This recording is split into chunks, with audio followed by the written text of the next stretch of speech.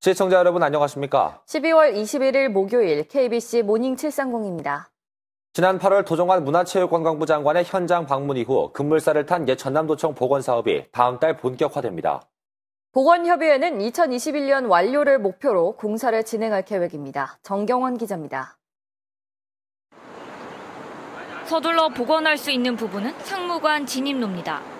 80년 5월 당시 시민 희생자들의 시신이 안치됐던 상무관 진입로는 전당 조성 과정에서 주차장 통행로로 바뀌었습니다.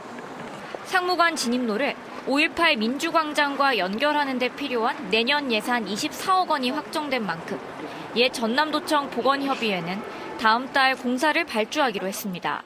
실무 TF를 별도로 운영하여 긴밀한 업무를 통해 공사 추진을 진행하고 있습니다. 발주 공고가 내년 1월에 나갈 예정이고 공사 완료는 2019년 6월에 예정입니다.